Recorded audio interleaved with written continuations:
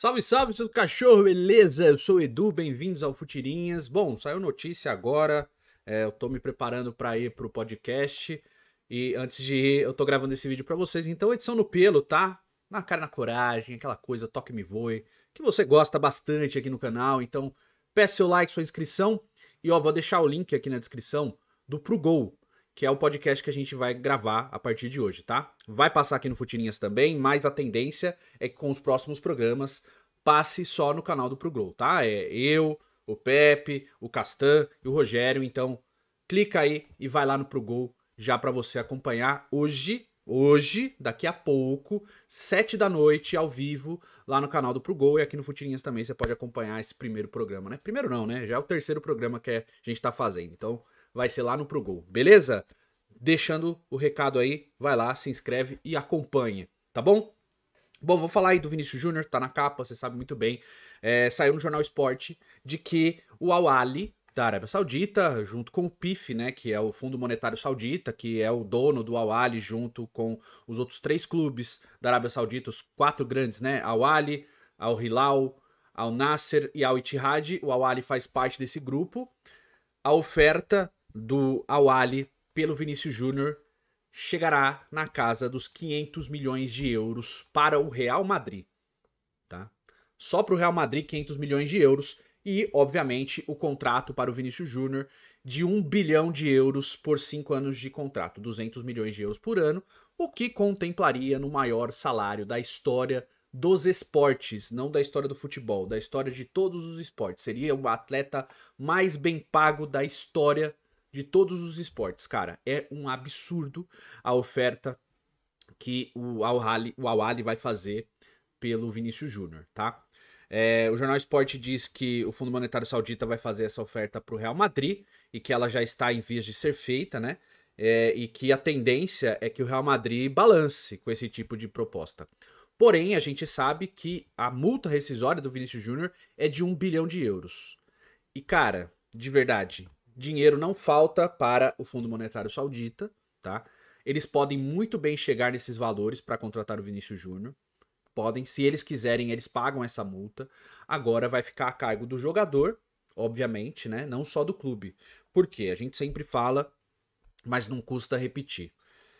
Quando chega uma proposta muito grande na mão de um clube, o clube aceita, o jogador também tem que aceitar, tá? Eu vou dar o exemplo do Mbappé na temporada retrasada, no começo da temporada passada, ainda antes do Neymar sair para o Al Hilal, o próprio Al Hilal fez uma oferta porque estava uma relação bem estremecida entre Mbappé e PSG naquele momento. Lembra, o Mbappé estava treinando até em separado, o PSG tinha removido todos os é, os banners envolvendo o Mbappé, do, dos, das promoções do clube, tava só o Neymar, né, naquele momento. E aí né? O Mbappé não queria renovar e estava conversando sobre isso. O PSG pensando numa venda, bom, a gente não vai, ele vai sair, a gente não vai ganhar dinheiro. Beleza, dá, tira ele tudo, de tudo e vamos vender. E aí veio uma oferta do Al Hilal de 300 milhões de euros que o PSG aceitou. Porém, naquele momento o Mbappé negou a proposta e ele ficou no PSG e aí ficou toda aquela conversa, ele acabou ficando no acordo ali foi a venda do Neymar para o Al-Hilal, né? Mas o Al-Hilal tinha tentado comprar o Mbappé e o PSG aceitou vender, porém o jogador não quis se transferir e aí não tem transferência que acontece. Nesse caso do Vinícius Júnior, é a mesmíssima coisa. Caso venha uma oferta que o Real Madrid considere boa e aceite vender, o Vinícius Júnior também tem que aceitar a transferência, tá? Não adianta só o clube querer que isso que o negócio aconteça. Então pode vir até mais do que a multa.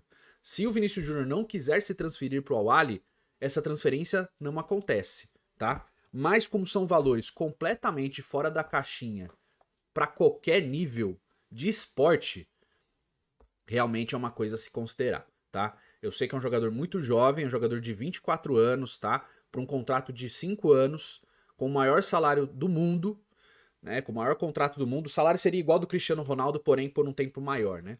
Com o maior contrato do mundo quem não balançar é, é, complicado. E a gente sempre tenta opinar na parte esportiva, porque na parte financeira são valores que a gente não consegue medir, cara. Eu acho que nem o próprio Vinícius Júnior, mesmo sendo um cara milionário, multimilionário, riquíssimo, não consegue medir eh, financeiramente, tá? É muita coisa, cara.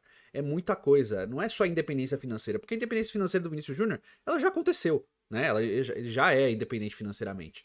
Mas seria num nível, assim, de gerações e gerações da família dele terem tranquilidade, né? Tem toda a parte de negócio do instituto dele, que também ele quer ter uma visibilidade para isso.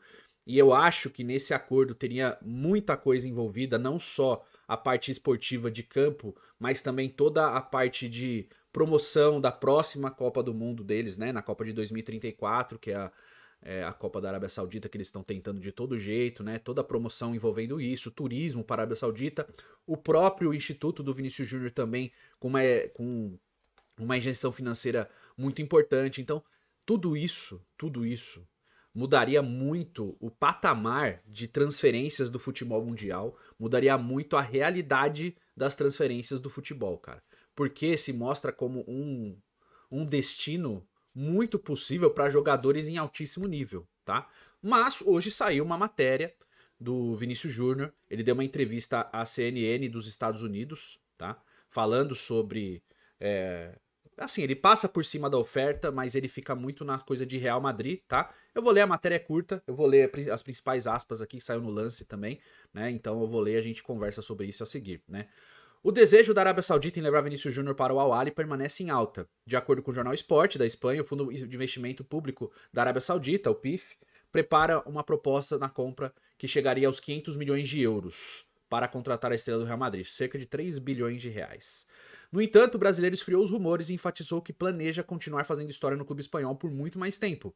Em entrevista à CNN americana, ele declarou o sonho de atuar pelos merengues e as ambições para o futuro. Aí abre aspas para Vinícius Júnior. Sempre sonhei em jogar no Real Madrid, então aprecio cada momento como se fosse o último. Todo mundo quer vencer pelo melhor time do planeta e poder jogar com os melhores, marcar tantos gols em tantas finais e ajudar tanto. Apesar de 24 anos, é, tenho apenas 24 anos e quero continuar assim por muito mais tempo, a fazer história nesse grande time em que jogo hoje. Nem todo mundo tem essa oportunidade, então falo sobre aproveitar cada momento com essa camisa. Vou sempre jogar e estar entre os melhores. Aliás, minto. Vou sempre jogar para estar entre os melhores e a cada dia que passa no Real Madrid me sinto mais confiante. Já ganhei duas Champions e jogo com outros que já ganharam seis. Para estar no mais alto nível é muito mais difícil então quero continuar nesse nível por muito tempo e poder ganhar tantas Champions quanto Carvajal, Modric, Nacho e Tony Cross. Vini Júnior também tratou da dificuldade de fazer uma temporada perfeita, ao citar a possibilidade de alcançar um feito inédito com o Real Madrid, disputar a tríplice coroa em uma tacada só. Disputar e conquistar, né? La Liga, Copa do Rei e Champions League. A Champions veio primeiro, vem primeiro, que é a competição mais difícil, seguido da La Liga e da Copa do Rei. Cada um tem sua própria pressão, e o peso da Champions é o que o Real Madrid sempre quer vencer. Não só os jogadores, mas os torcedores também cobram isso da gente, ganhar esse torneio. Mas o nosso objetivo agora é tentar ganhar tudo para o que competirmos e finalmente poder conquistar essa tríplice coroa. Em caso de acerto com os sauditas, Vinícius Júnior se tornará o jogador mais caro do futebol. Ah, superaria os 222 milhões de euros pagos pelo PSG para contratar Neymar em 2017. Além disso, o atacante receberia um contrato que ultrapassaria 1 bilhão de euros em cinco anos entre salários e bonificações. Bom, eu resumi bem né, no prelúdio aqui, né, na introdução, sobre a proposta. Obviamente, em termos esportivos, é meio que se abrir mão, nesse momento, tá? É meio que se abrir mão das competições em altíssimo nível, né? Já falei em outro vídeo, mas eu vou repetir aqui também. É, o que eu vejo para o futebol da Liga Saudita, para a Saudi Pro League, é que eles estão tentando fazer o que o Florentino Pérez quis fazer com a Superliga na Espanha, na, na Europa, né? Montar uma Superliga de clubes europeus. Obviamente que a Superliga teria um peso diferente da Saudi Pro League, só que eu olho para a Saudi Pro League hoje e vejo neles uma vontade de se de, de montar uma Superliga né, que seria a liga do país. Então, seria uma Superliga com vários times muito fortes, com muitas estrelas em altíssimo nível e mostrando uma outra realidade do futebol. Como ali não tem fair play financeiro, você não tem que, olha, você tem que ganhar tanto para vender e tal, você se coloca como uma super força, uma super potência, paga altíssimos salários porque dinheiro afinal não é problema e você traz o jogador que você quiser, a partir do momento que os jogadores tirando essa parte já, olhando para o final de carreira, e já olhando para os jogadores em altíssimo nível, que esses jogadores escolherem a Liga Saudita, a realidade vai ser mudada.